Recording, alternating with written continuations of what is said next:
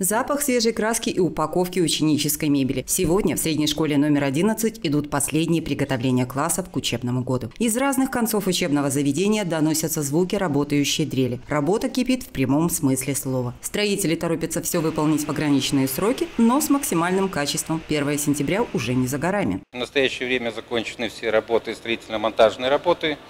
Мы сейчас находимся в спортивном зале, где навешивается спортивное оборудование. Также производится по школе установка мебели и я думаю, что числа 15-20 данные работы закончатся. Самая вместительная школа в области рассчитана почти на полторы тысячи мест. В уникальном проекте, реализованном в довольно сжатые сроки, были учтены интересы всех категорий учащихся. Особый акцент уделен детям с физическими особенностями развития. В школе функционирует безбарьерная среда, есть лифты, подъемники, позволяющие детям с инвалидностью без проблем передвигаться по коридорам учреждения и наравне с другими учениками жить полной школьной жизнью. Уникальный Специальная школа заключается в том, что в одном здании объединена и старшая школа для детей 5-11 классов, и начальная школа. Причем начальная школа имеет э, все автономно. У них отдельный актовый зал, отдельные спортивные залы, зал адаптивной физкультуры, все кабинеты, э, которые распланированы именно для детей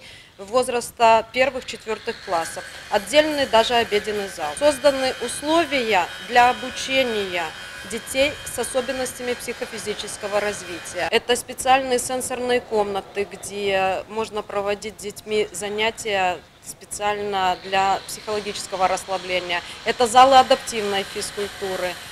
Э, то есть, наверное, вот это создание единой среды, не разделение детей на обычных детей, детей с особенностями. Это достаточно важная вещь в наше время. Комфортные условия в школе не только для учащихся, но и для преподавателей. Техническое оснащение и кабинеты, предназначенные для подготовки учителей к урокам, создадут дополнительные возможности. Хочется отметить, что штат педагогов для работы в специализированных классах на сегодня практически набран. По штату у нас предполагается наличие двух коррекционных пунктов, это штатные будут учителя-дефектологи и плюс на каждый специализированный и интегрированный класс у меня достаточно есть специалистов, э, которые изъявили желание работать у нас в школе, которые имеют либо логопедическое, либо дефектологическое, либо э, образование педагога-психолога.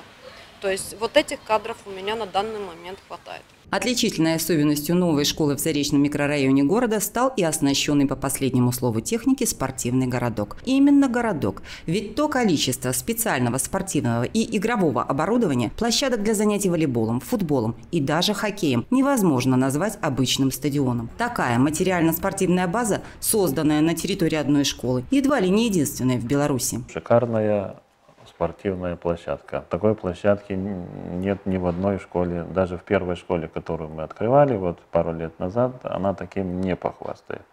Потому что стадион с искусственным покрытием шикарный, площадки для э, тенниса, баскетбола, не знаю, что там, бадминтона, даже вот эти, как раньше ставили коробки для хоккея, тоже есть, э, вот, чтобы заливать сразу. Но она стационарная, можно играть так, можно э, заливать э, лед. Преимущества спортивных площадок уже оценили местные ребята, приходящие на стадион школы со всех концов микрорайона. Поле очень хорошее, искусственный газон, большие, большие ворота. Это поле как у настоящих футболистов. Хочу, чтобы поскорее открылась школа и пойти э, учиться. Наталья Луговкина, Эдуард Бакунович, Антон Луговкин, телекомпания Бук ТВ.